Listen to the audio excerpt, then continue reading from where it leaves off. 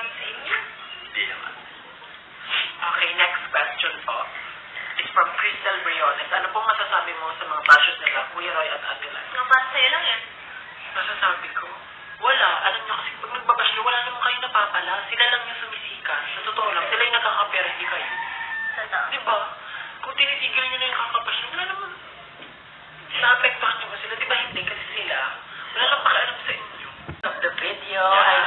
like the video, and sobrang saya ko dahil nandito sila sa akin. Special birthday. Basta ito nagtapakit. Sobrang saya ko po dahil nandito po sila sa aking birthday. And masaya din sila dahil nandito sila. Ewan ko kung masaya Of sila. course, we're happy. Ang dami yung pagkain, guys. Sobrang nakaka- Sarap ng wraps. Ang sarap ng spaghetti and Sarap. yung pesto. Galing magluto na. Sobra. Sobrang Ayun po. ano siya, husband material. So guys, lang niya na.